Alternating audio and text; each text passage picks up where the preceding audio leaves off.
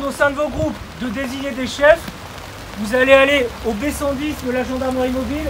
On va vous donner des cartes, un secteur.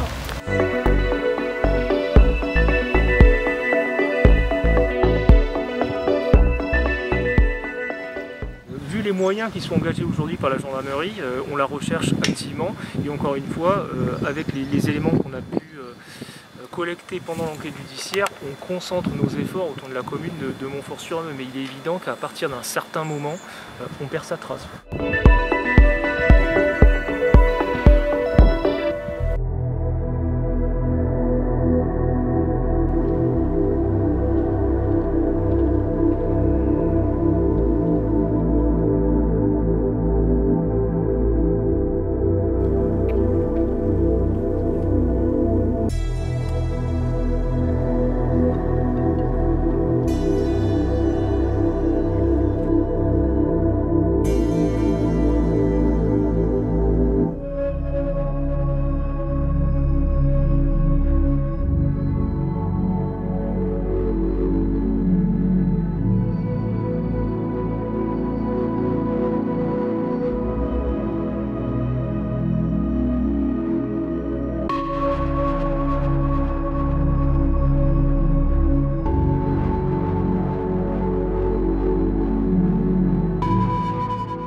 Il dit que lorsqu'elle est sortie, il lui a asséné un violent premier coup de batte de baseball, puis un second pour s'assurer de son décès,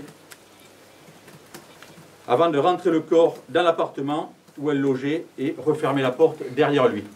Il déclare avoir laissé le corps ainsi pendant la journée, avant de revenir dans l'appartement la nuit suivante, afin d'effacer méticuleusement les traces de son crime et emporter le corps pour aller l'enterrer dans la forêt enneigée, dans un trou qu'il a creusé lui-même, après l'avoir recouverte de chaux vives.